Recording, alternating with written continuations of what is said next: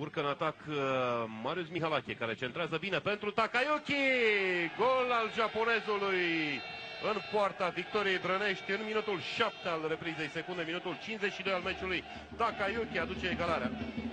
Și așadar este al patrulea gol marcat de Seto în Liga 1. Așa cum spuneam în prima repriză, brăneștenii ar fi trebuit să aibă grijă pentru că Takayuki marchează doar în deplasare. Așa spune statistica, o confirmă japonezul în această seară, 1 la 1 între Victoria Blănești și Astra Ploiești. Iată și galeria venită de la Ploiești pentru a susține Astra, cum vă spunea și Andrei, aproximativ 30-35 de oameni care au stat și au înfruntat ploaia pentru a-și susține echipa favorită. Iată urcarea în atac a fundașului dreapta, Marius Mihalache și venit uh, surpriză, Marincău proteja tot acolo, nu era nicio problemă pentru Cernea.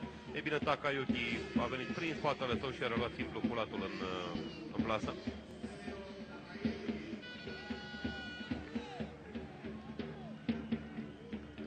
Putem spune că este o mare greșeală a apărării uh, și în special a lui Marincău, apărării din Brănești.